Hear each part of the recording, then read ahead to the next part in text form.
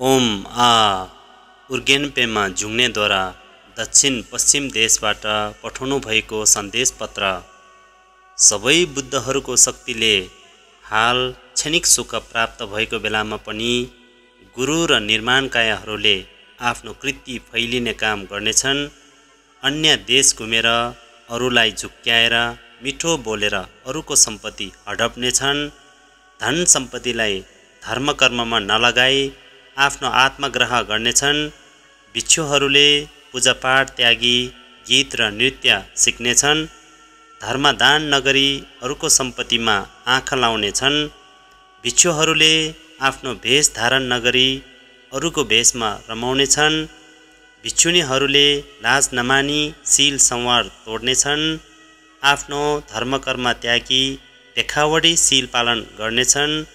धर्मकर्ममा मन नलगाएर गहनापात लाउने प्रयास गर्नेछन्। महिलाहरू परिवारमा फाटो ल्याउने र आमा बुबालाई घरबाट बाहिर निकालिनेछन्।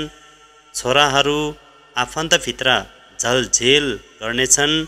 आफ्नै मर्यादा चलन त्याग्दा पनि पश्चाताप गर्ने छैनन्।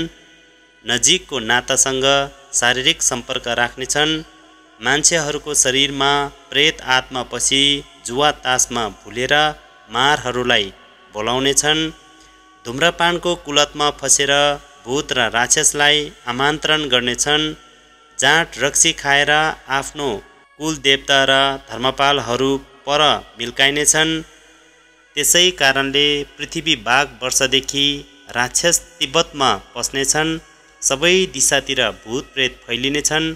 त्यस बेलादेखि बुद्ध शासन सङ्कटमा पर्नेछ। देव मूर्ति लगायत धर्मपालहरू किनबेच हुनेछन् त्यसै दोषले गर्दा अनेक रोग उत्पन्न भई पितृ सम्पत्ति अन्य मुलुकमा बेचिनेछ। त्यसले शुभ लक्षण क्षय भएर बाढी पहिरो आउनेछ पानीको मुहान खनेर उराट लाग्दो बन्नेछ जङ्गल फाडेर अन्न बाली बिग्रनेछ चोरी डकैती गरेको कारण आफू गरिब हुनुपर्नेछ। जुवा तासमा भुलेको हुनाले शक्ति छिन हुनेछ।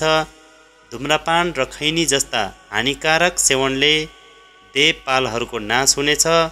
जाँट रक्सीको सेवनले अल्पायु भई अनेक रोग लाग्नेछ।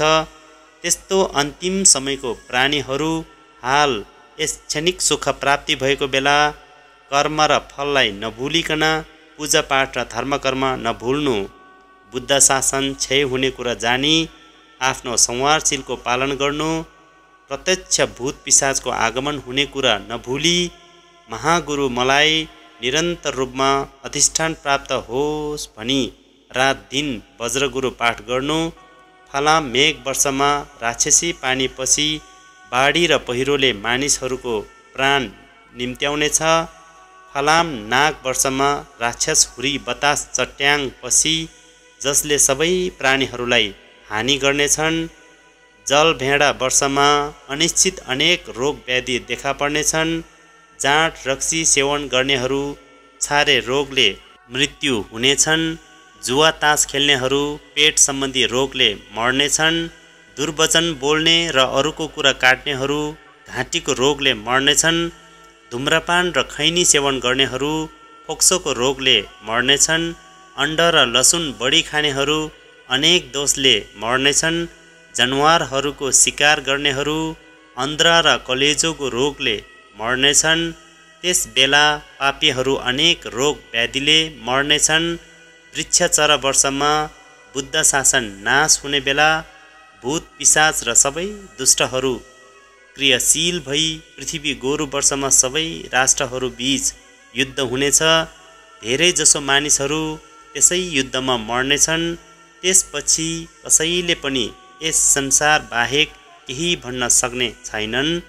त्यस प्रकारको खराब समयलाई रोक्ने हो भने निरन्तर रूपमा म पद्मसम्भव गुरुलाई प्रार्थना गर दिन रात वज्रगुरु पाठ गर्नु कर्म र फललाई विश्वास गर्छौ भने म गुरु पद्मसम्भव मेरो वचनलाई अभ्यास गर्नु हेतु फललाई स्मरण गर्दै दान गर्नु झुठो लगायत अन्य पाप कर्मलाई त्याग्नु मेरो सन्देश पत्रमा विश्वास राख्नु आस्थाका साथ जसले त्यस्तो अभ्यास गर्दछ खराब समय सैन्य युद्ध र नाना प्रकारको सबै रोगहरू समन हुनेछ विश्वमा सुख शान्ति हुनेछ पद्मसम्भव मेरो यस सन्देशलाई एकपल्ट लेखन वाचन जसले गरे पनि यसै जुनीमा रोग अनिकाल र झै झगडा सबै शान्त भएर जानेछ। मृत्युपछि पनि सुखवरी भुवनमा जन्मनेछ। उर्गेन मेरो यो भित्री सार कुरा कानमा पढ्न बित्तिकै बाधा अर्चन सबै हटी आयु र पुण्य वृद्धि भएर जानेछ। यस सन्देश पत्रलाई शरीरमा बाँधेमा भाग्य वृद्धि भएर जानेछ। भूत प्रेतले हानि पुर्याउन सक्दैन। यसलाई घरभित्र राखे चार महाभूत शान्त भएर जानेछ। बाधा व्यवधान र प्रेत आत्माबाट रक्षा गर्नेछ। परिवारमा यो सन्देश भएमा त्यस घरमा लाभ पुग्ने निश्चित छ। कुनै घरमा यस सन्देश पत्रलाई राखेमा समग्र राष्ट्रलाई नै फाइदा पुग्नेछ। यस सन्देश पत्र पठाउने म पद्मसम्भवलाई जसले अवेद्य श्रद्धा राखेमा कहिले नछुटिने शिरको गहना हुनेछु। मैत्री बुद्ध यस लोकमा नपालुन्जेल म पद्मसम्भवले शरण दिनेछु। यस सन्देशलाई दसजना व्यक्तिलाई जसले प्रचार गर्दछ यस जुनीमा उसले हानि पुर्याउने सबै मार अनि राक्षसहरूमाथि विजय प्राप्त गर्नेछ। मृत्युपछि साङ्दोपल्री अर्थात् ताम्राश्री पर्वतमा जन्म लिनेछ। तर यस सन्देशलाई विश्वास नगरी व्यवस्था गर्नेहरू यस जुनीमा रोग शोक र भोगको पीडा खप्नुपर्नेछ र मृत्युपछि पनि नर्कमा पतन हुनेछ। उर्गेन पेमा जुङ्नेद्वारा बाघ वर्षको छैटौँ महिनाको दशमी तिथिमा दक्षिण पश्चिम राक्षस देशबाट तिब्बतमा पठाउनु भएको सन्देश पत्र समाप्त भयो। सर्वमङ्गलम।